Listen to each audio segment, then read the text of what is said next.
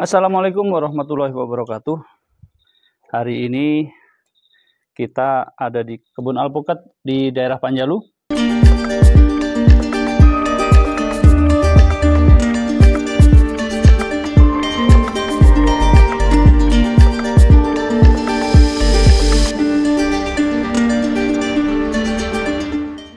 Dan ini ada buah R1 Rifai Rifai 1 yang buah pertama dan nampak di sini bekas pertempuran melawan lalat buah.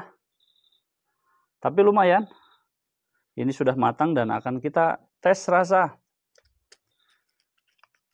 Buah pertama di usia 2 tahun. Seperti apa?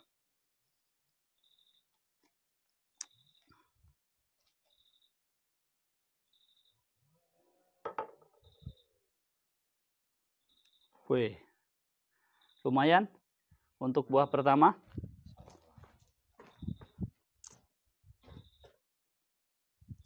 Lumayan kuning.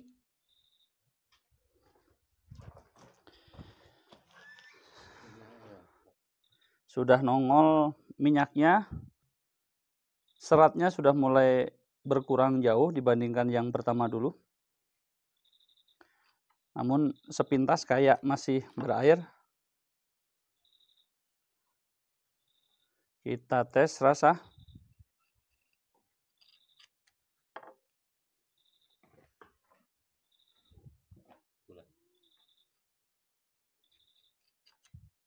Coba gimana rasanya, Mang? Enak. Ini bekas lalat buahnya. Kelapa mudanya nongol. Gimana? Bulan rasa kelapa muda. Manisnya sudah nendang belum? Manisnya masih eh, kategori 80 persen lah. Belum maksimal ya? Belum maksimal. Terus Tapi kalau yang dibanding dengan itu pak, dengan ini, yang mana? yang dulu dari itu, Bismillahirrahmanirrahim. dari apa? Dengar? Gurihnya nendang. Hmm, kan ini. ini masih ada airnya. Tapi kalau ini nanti naik grafiknya naik. Kemarin waktu yang kita buka pertama itu kadar airnya masih banyak. Ciri kadar air itu ketika dimakan, ret, belum ditekan udah pecah duluan. Nah, kalau ini harus ditekan. Ya kan? Jadi di- harus ditekan dulu. Nah, nanti ketika ini udah usia 3 tahun, 4 tahun dorongnya agak agak kenceng baru pecah. Terus di ujungnya manis sama eh, rasa khas alpukat R1-nya itu udah mulai nongol. Mantap lah kulitnya terbelah. Manis dan beralkohol. Agak rasa apa ya? Semu pahit apa gimana? Itu rasa alkoholnya. Kalau versi saya. Kalau gurihnya belum belum ini ya. Manis lah. Manis gurihnya sudah mulai ini tapi manis dominan manis. Wih, udah Ya. ini, 80%. Warna kuningnya, nih coba lagi. Warna kuningnya sudah sudah oke, warna kuningnya, terus kemudian mudah dikupasnya sudah oke. Dan ini cenderung kalau basah, ini bicara basah ini eh, kalau kemarin 50-40 persen, kalau ini 70 70 persen. Hmm.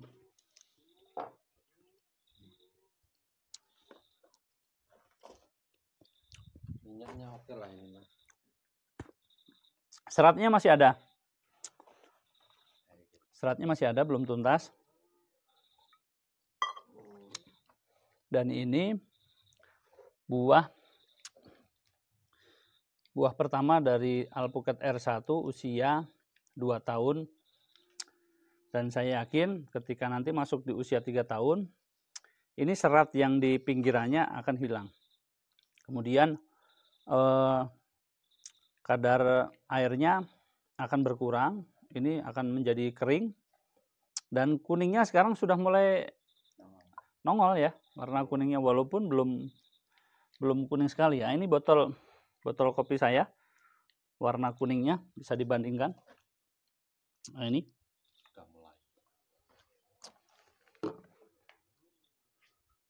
dan memang eh, lalat buahnya nggak sampai merusak ke dalam.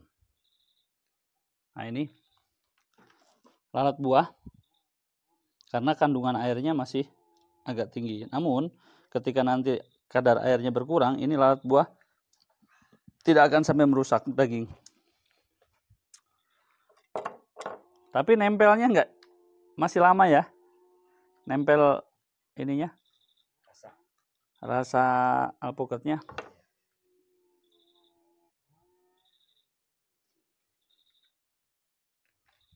Nah, ini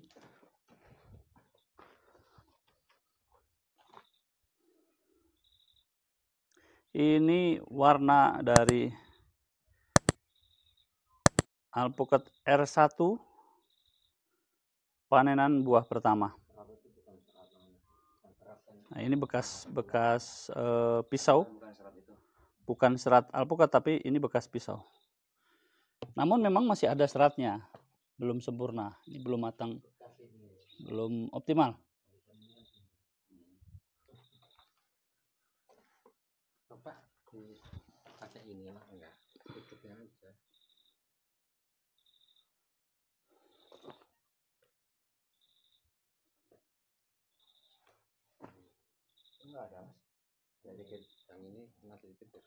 Nah ini kita coba kupas dan sempurna, kulitnya tebal, mudah dikupas dan ciri khas alpukat mentega yaitu ketika diselimuti oleh warna hijau. Warna hijaunya semakin tua usia tanaman semakin nongol warna kuning maupun hijau tuanya. Dan ini usia masih 2 tahun. Jadi nggak usah berkecil hati. Ketika nanti sudah masuk di usia tiga tahun, ini akan lebih optimal. Nah, kita lihat. Ini, nah seperti ini. Ini serat, serat dari buah yang belum sempurna. Namun, ini bekas pisau, bukan serat. Coba kita patahkan. Nah, ketika kita bisa patahkan seperti ini, dan ini kita lihat, kandungan airnya sudah mulai berkurang. Kalau kandungan airnya berlebih, tentu buah ini tidak bisa dipatahkan tetapi hancur. Dan ini tergolong kering. Kita lihat di ujungnya. Nah. Lembut. Hmm.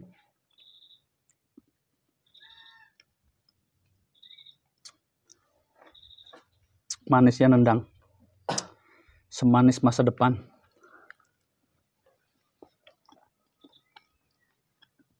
Hmm. Rupanya serat itu ada di ujung biji. Ada di ujung biji. Dan ketika ini kita makan, seratnya tidak mengganggu. Hmm. Tidak ada serat.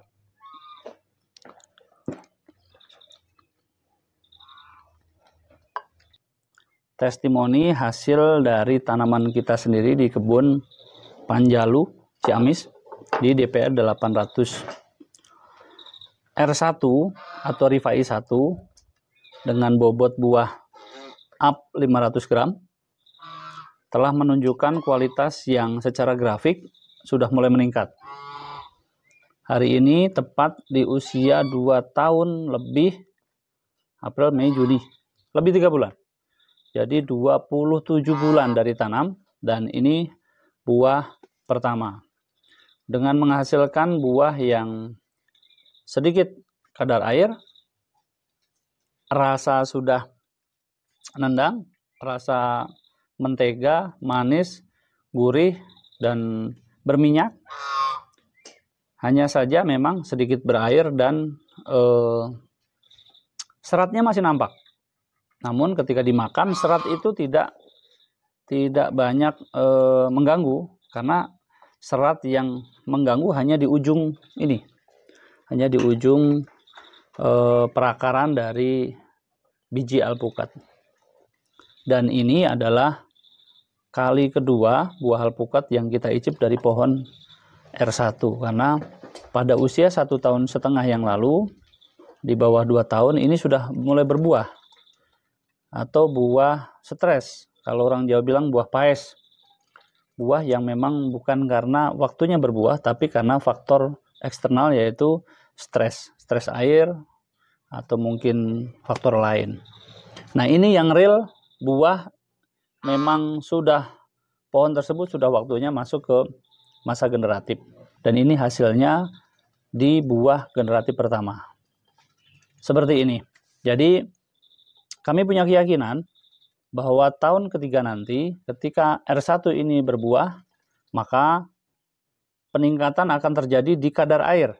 Jadi kadar airnya akan akan berkurang. Sehingga kandungan e, minyaknya dia akan lebih nongol. Bisa kita lihat bisa kita lihat di sini ketika kita Nah, ini ini bisa seperti ini bukan karena air, tapi karena oily atau kandungan oli yang tinggi, kandungan minyak yang tinggi. Nah, itu seperti itu. Ketika kita ambil seperti ini, maka inilah buah alpukat ini e, mengandung minyak yang tinggi. Dan ini salah satu alpukat yang kami referensikan untuk kita budidayakan di 800 dpl. Daerah dengan ketinggian medium ini sangat cocok. Di dataran rendah, oke, okay, lebih bagus. So, terus kembangkan alpukat-alpukat terbaik dan uh, lakukan upaya untuk peningkatan teknologi buah sehingga secara nasional nanti kita akan menghasilkan buah-buah alpukat terbaik sehingga di kemudian hari Indonesia akan menjadi lumbung alpukat dunia. Dan kami sampaikan bahwa Panjalu mendaftarkan diri untuk menjadi sentra alpukat terbaik nasional. Salam kami dari petani alpukat di Panjalu. Assalamualaikum warahmatullahi wabarakatuh.